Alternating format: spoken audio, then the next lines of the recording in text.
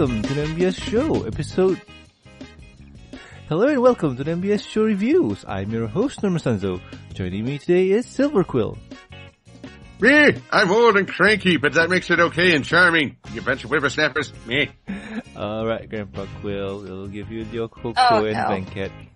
And also, Me? and also joining us today is Sapphire. I'm young and enthusiastic, and even though you're beating me with a stick, I'll take it anyway because I just want to help. What? Alright, I'm old and I'm old and pervy, and the way you said just take it with a stick is just wrong, child. Wrong. Me. Oh, no, no, Silver, do, do, do Herbert, do Herbert. So you're a lecturer. I'm that old guy from Family Guy. Uh, yes, uh, what? So as you guys may have guessed, we're doing Friends Forever, issue 27. Me? Uh, this comic features Granny Smith and Pinkie Pie. Published date is April 6, 2016. Written by Christina Rice. Art by Agnes Garbowska. Colorist by Agnes Garbowska and Lauren Perry as assistants. So yay, um, this is quite interesting. Boring at first, but has a really huge lesson at the end. So, synopsis for this comic is Granny Smith has a big boo boo and she can't walk. And since everyone on the farm is busy, Pinkie Pie comes in and helps with the chore and whatnot. But since she's not really good, she's there to help Granny Smith. That's the synopsis. We'll see how it goes. But first impressions, Sappy, what about you? Oh boy, first impressions for me. I actually like this comic. Although I am disappointed in this comic, making it the worst comic ever. What? How? Granny did not once try to assault Pinkie Pie with a cane or something. Worst comic ever. Okay. Seriously, the slapstick would have been really funny, but in all seriousness, oh my gosh, I enjoyed this comic. Pinkie is like the sweetest, like, saint in this comic. Like, even though Granny's being all nasty and crap, she's all, oh, I'm here to help. I love helping you anyway. I friggin' love Pinkie in this. She's amazing. yeah. And Silver, what about you? Well, for starters, I've just learned about Sapphire's need for violence. I like violence. Violence is fun. this explains so much. So much. Oh. I can agree. It's a fun contrast. You don't normally assume Granny Smith and Pinkie Pie would would be co-stars, and it does show Pinkie with marvelous patience and affection. You kind of learn. I kind of start to wonder about her childhood. Excuse me, Actually, I find it funny with this because, um, I kind of deal with relatives that act sort of like Granny. Like, if I don't do everything just right, they'll like get all nasty and yelling at me and crap. So, I find Pinkie to be a bit of an inspiration because I would have lost my head if I had to deal with Granny acting as she did. However, going by the Granny we've seen in the show and in prior comics, she's never been this cantankerous. I guess it can be explained by the fact she was just recently injured and is probably feeling very vulnerable right now. But there comes a point where it's like, okay, you're not really the Granny I've seen in past episodes. Feeling like they're taking your character a little bit outside the realm of, of connect, connectivity. Hmm.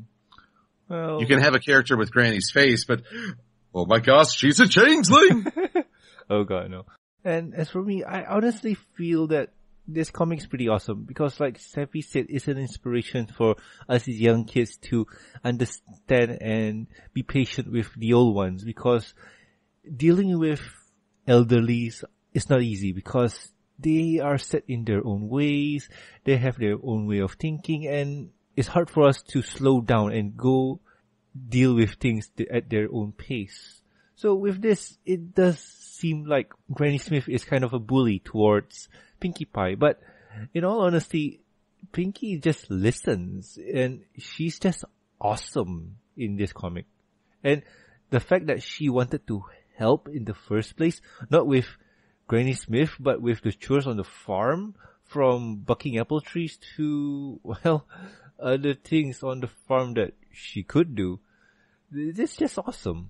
And with that, I think we can start the review here. As per usual. Should we do it by uh, scene by scene or themes scene like last scene. episode? Nah. Okay. From, yeah. from from my experience with that one, it didn't turn out too well. yeah. yeah, maybe if we go by teams, I'll let Silver take that one. Okie dokie. But right now, we came, we've seen, we'll conquer. Yep. So it's going to be scenes then. So we start off the episode with Granny Smith waking up early in the morning and well, just doing her daily routine. I don't know whose fault is this. I, I'm going to blame it on Apple Bloom. And yeah, she trips and falls, and I think she sprained her ankle, right? All, all I know is she's uh, I raking know, in the sympathy. She ruined her hip. ah, yeah. Her hip. It's always the hips. But yeah, she hurt her hips and is bedridden. And and Applejack comments that uh, if if falling down and going yow is good is good as new, then I'm a fruit bat. Again, her her bias against the fruit bats is just unending. Yeah. I- And they have a No, no, it's biased against like vampire fruit bats, not fruit bats in general. ah, she said fruit bats. She she said fruit bats. There's no there's no. Well, it doesn't don't- make her prejudice against them. She assaulted them in their homes. Did you ever think of that? uh, Also, they they hook Granny Smith up with the worst doctor in Ponyville because while he says you've broken your hip, look what's bandaged. her legs. Oh god. Yeah, really. Uh, Was there some type of miscommunication between the art and the writing again, just like the, what is it? What was it, the Spike and Zecora comic? Uh, no, that was I think Gilda and Rarity. That too. No, but still, I think for this one is the visual gag because if you bandage the hip location, it ain't gonna send a message that she's hurting. Wait, wait, wait, wait, wait. Wasn't the art made by Agnes Barboska? Yeah. Garbowska. That, I don't know how to pronounce her last name. Then that explains a lot. Oh, Okay, that's all I need to know. why? Why why does that explain? She a was the same artist for the Spike and Zecora comic where I first pointed that out. All right. So that explains a lot. But still, I I'm going for the visual effect here because to bandage up a leg means that you're bedridden, you can't walk. To bandage your hip, that would state that you're still able, but it would look weird. I don't know. You got a big old cast covering both your legs and your hip, your torso. I'm gonna say that's you're not going Well, anywhere. if anything, then the writing department should have said like leg or something in order to make the art less stressful. Yeah, that could have. Yeah, that's It one. could have thing. been re- rewritten. Yeah, but I think this Right? is yeah, yeah. I, I do agree because if it says leg, ankle, or sprain, that could have made it work. But they, we're pointing out little problems that don't really need to be pointed out, or they're distracting our main goal, which is to finish this review within a certain set of time. But anyway, um, we have Pinkie coming in and wanting to help. Yay! and she's just there. I mean, I think she just appears. yeah. Ra- a random Pinkie Pie has appeared. Hey, let's go play Pokemon Go. No! No! But anyway, No. Pinkie comes saying that she can help with the chores since Granny Smith will be bedridden within a uh, within a month, right? She'll be within a month. No, for a month. For a month. Within a month. Me- within a month means we're gonna make her bedridden. Any difference? yeah, Big Mac, break her, let break her knees. yep. okay, that that went dark, but yeah, okay. And that, and that's when they became the Apple Mafia. That'd be a fun alternate world story. Uh, I, I think Actually, that would be a fun alternate world. I, I think fan fiction writers can do it. But anyway, um, Pinkie Pie volunteers for herself to help, and yeah, we'll get to see her try and buck apple trees. And Applejack makes it look easy. But that's because she's a powerful pony. I'm flashing back to uh, Magical Mystery Cure. Pinkie did not have fun being on the farm. Ah, yes. Yeah, with her life on a rock farm, she did not enjoy the, yeah, nah, she didn't. Or did she? Because I thought she kind of did. Remember in the heartwarming episode? She looks like she was having fun. On Heartwarming? Sorry, ah, it's the Christmas episode where the apples and the pie met up. Oh, well, there she was taking them to a rock farm and it's, it's a weird contrast. Somehow Pinkie is more attuned to rocks than she is to apples. Yeah, but still, but still. We get to see Pinkie here trying to help, but fail. So, Applejack decides to change it up and see what she can do. And apparently that thing that is a Uber driver. Yay. Oh, oh great. Uh, Pinkie is Equestria's first Uber. Yeah. Text her and she'll answer, yo. Of course, first you have to actually like send a magical scroll because you don't have cell Oh, phones. yeah, yeah, yeah. Uh, Oh God! If Equestria had had smartphones, they'd all be playing Parasite Go right now. There's Franco. Oh yeah, that could work. That could work. But still, uh, Pinkie Pie will be driving Granny Smith to town and back for the grocery shopping and whatnot. And like any old person, Granny Smith has a big ego and she states that she can walk. Obviously not. Actually, she says something that that sort of makes me do a double take. I don't need no pony's help, especially a pony that's not an apple. Even if the whole genetic ancestry thing doesn't pan out, Pinkie's been declared an honorary family member. But I, true, true. And I think this is more of an ego thing talking instead of logical thinking going on. You know what I mean? I'm, I'm just saying this is this is where I started to scratch my head and say, how mean are they going to make Granny Smith here? Uh, yeah, but still, you did mention that Granny Smith is feeling kind of vulnerable with what happened to her, and well, I do see this in people. Like I, I can, uh, I think I've experienced this with my own grandma. But still, um, not even once that Pinkie Pie told her that this was a bad idea and got angry with her. She just says that, "Are you sure you don't want to ride? It's nice and cozy here." And Granny Smith kind of gave in and accepted the Uber ride. Pinkie and Granny have just reached town after Granny basically is just driving Miss Daisy on, on speed. Honestly, the, the, we are sort of falling into a rhythm here. Pinkie goes to help Granny. Granny complains. Pinkie agrees and is almost saintly in her patience. Leather, rinse, repeat. And well, the only reason why is because I think Pinkie is used to this kind of situation and well, for Pinkie, she wants to make everyone happy and she made friends with Cranky Doodle Donkey, a grumpy person, sorry, a grumpy donkey, a really, really grumpy donkey. So yeah, Pinkie knows how to deal with people. Although the scene with uh, Granny in the dark, oh my gosh, that is literally the funniest thing ever. Pinkie's been stealing from me. I won't take no for an answer. She did steal from me. Oh hi, I made you a cobbler and I also got you a new can of cherries. you were saying? That's literally the best scene in this comic. Yep. Paranoid old person. Always fun. Ain't that right, Silver? Me? Me? Stop looking at me, you youngins. Eh? But still, yeah, uh, like Silver mentioned before, is the whole ladder, rinse and repeat. But we do see that Granny starts to soften up and kind of, well, be nicer to her and talk about certain things like the trees in the apple orchard and whatnot. And Pinkie's just listening in and getting all this info. We do see that Granny's being a bit mean towards Pinkie the whole way, and Applejack's concerned for it because an Apple family member being mean to one of my bestest friends, oh, that's not good.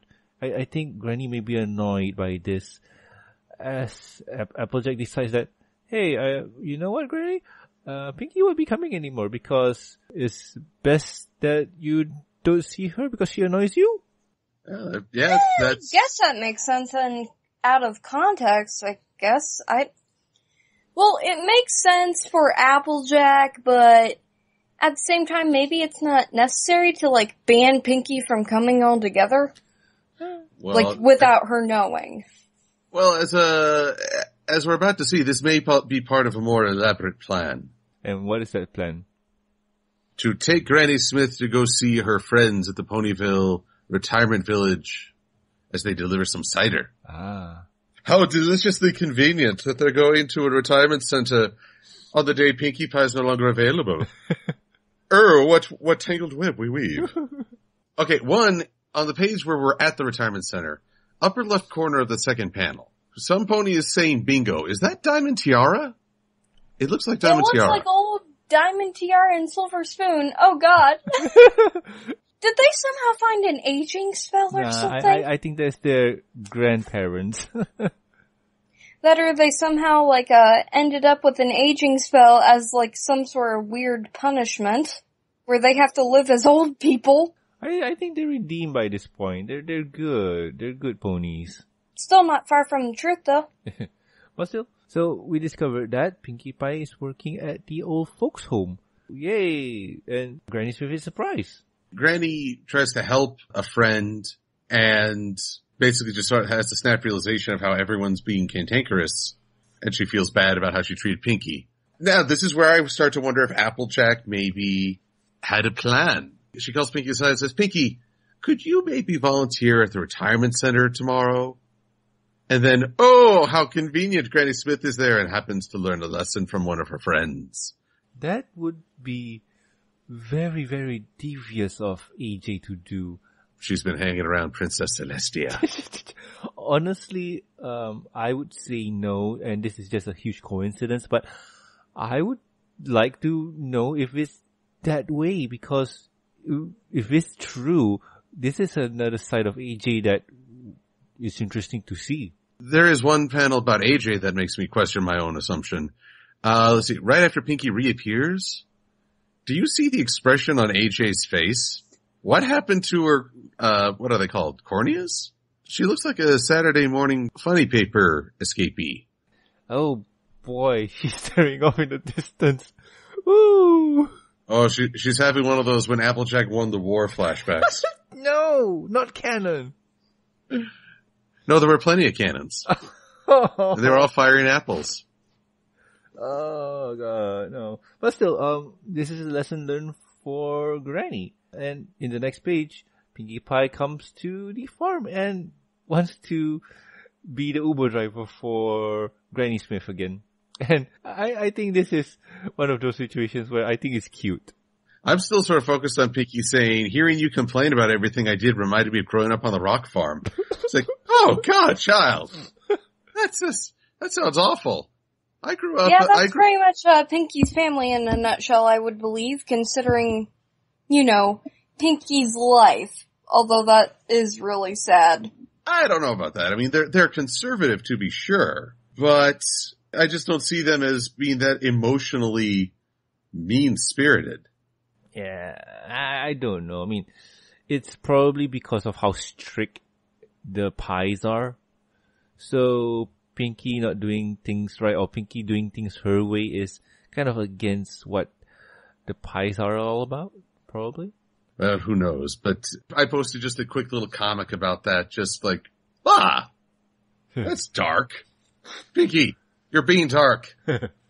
Don't you be going all cupcakes on me now. no. Don't remind me of 2012. A Space Odyssey? No.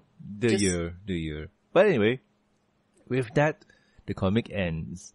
And yeah, pretty, I, I say, I would say that this comic is pretty cool. I like it. So, um, final thoughts. I present you Sapphire. What do you think?